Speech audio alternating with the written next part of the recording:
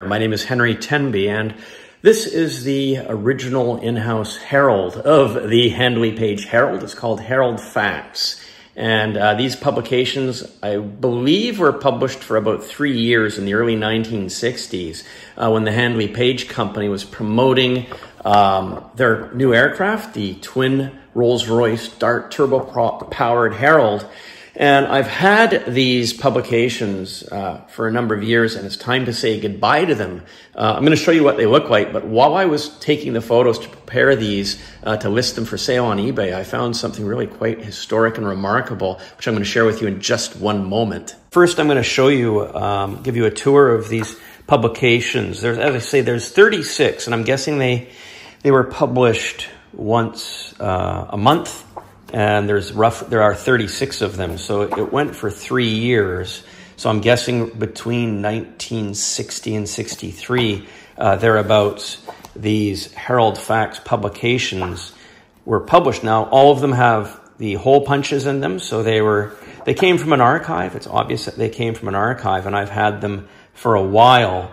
And they're just they're really nice pieces. They uh, have all kinds of sales and marketing information contained within their pages uh, relating to the performance of the aircraft and the manufacture uh, of the aircraft by Handley Page. So these would have been sent by mail to prospective airlines back in the early 1960s.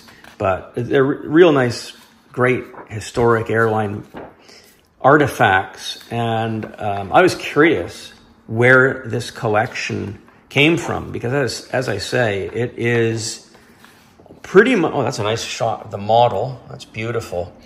Uh, I believe it's a complete set and I'm guessing, well, as you'll see, it ends uh, at, at 36. I'm just going to walk you through them here. Isn't that a gorgeous display model? I believe that's a Westway models. Looks like 125th scale. And um, yeah, these are just absolutely stunning the, the cover shots, uh, isn't that nice? I guess that the cover shots are so nice on these. Too bad they're not in color, but they are. Oh, look at that interior shot. It's very, very nice to see. And then there's an article about the Dart engine.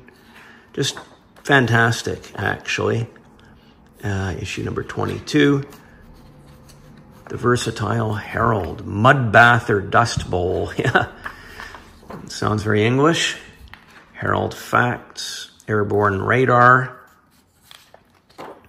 I bought these uh, with a view to republishing them, but I am so busy with my own books and my own content, I don't think that I'll ever get around to republishing them. There's no trademark on them. It doesn't say like, uh, this document is protected and cannot be reproduced. There's absolutely nothing like that on any of these uh, publications. It does say published by Handley Page Limited uh, and printed in England by Gale and Polden Limited. It says uh, to learn more, they give their address and their phone number, but they don't say you can't republish it, which does mean um, I would have been within rights to republish it, uh, to make it available to uh, enthusiasts. And that was my view. I thought, yeah, this is, you know, I paid good money for these and I thought they would make as I say, an excellent project to just republish in the year 2024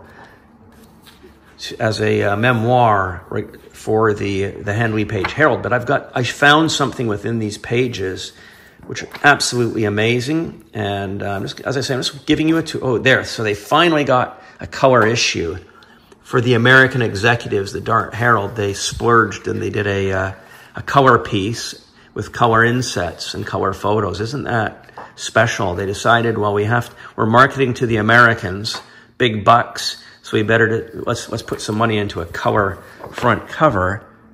That looks interesting. International Aviation Corporation, Al Mims, and he, he ended up with a nice, look at those models, Lucky Devil. Uh, so I guess he wrote that. He wrote this article on the Herald. So yeah, so third, issue number 33, 34, and then 35.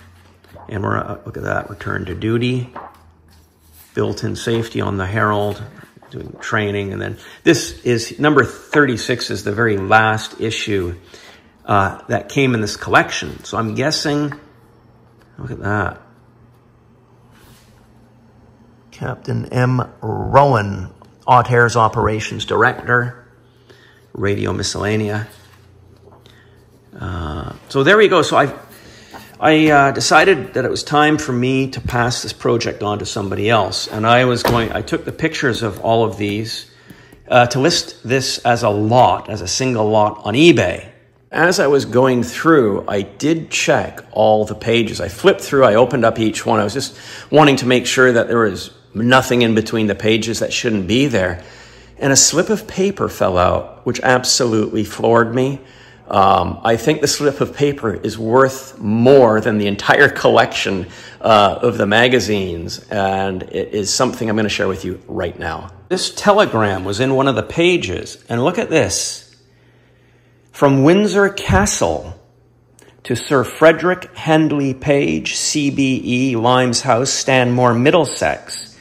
It says, I'm sure you will be delighted to hear that the two heralds gave excellent service Throughout my tour of South America, stop.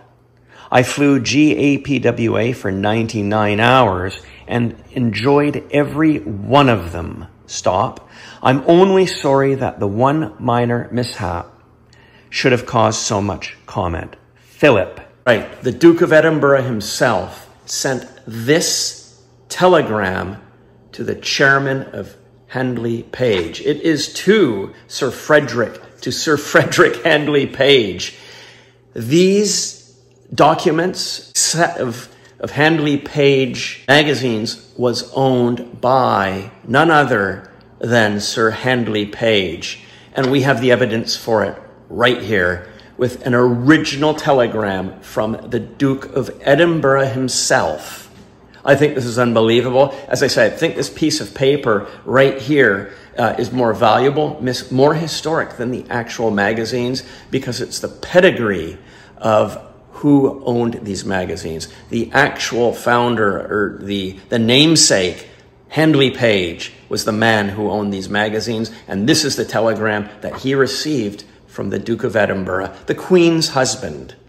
And is there a year on, is there a year? Yes. 7th of April, 1962. So, uh, what a historic find this is. I am, I was going to list this on eBay, but I'm not sure what I'm going to do. I might just send it to an auction house in the UK uh, to be listed um, at a proper auction because I think this is a very, very, very historic uh, set of uh, aviation airline publications that possibly even belongs in a museum. Thank you for watching the video. I hope you enjoyed it. I absolutely look forward to hearing your comments. And if you know of any auction houses that would be suitable for me to uh, contact in the UK, I'd love to hear from you. Look forward to your comments. Thanks for watching.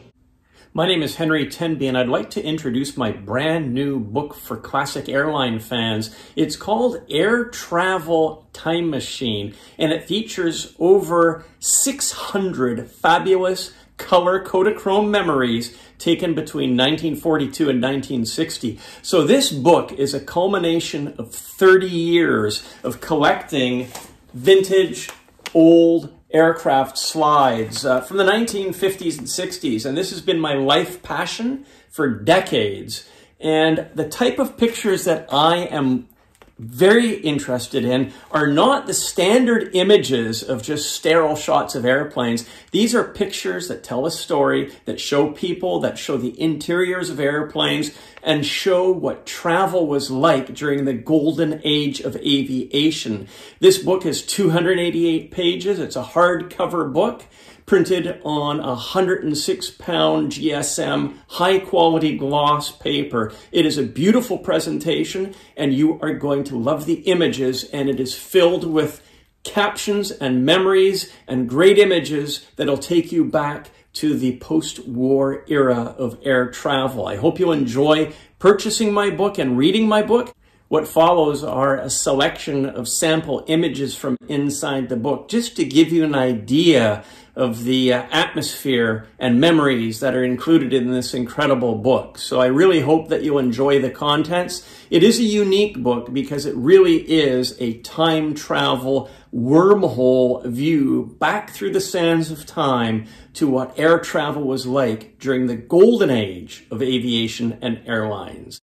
Thank you for watching my video. I hope you'll consider purchasing my book. As a side note, this is a limited production book. We're only printing 300 copies for the UK and Europe and another 300 copies for Canada USA distribution. So if you'd like to order a book, be sure to do so as soon as possible so that you are guaranteed to get a copy in your library. Thanks again.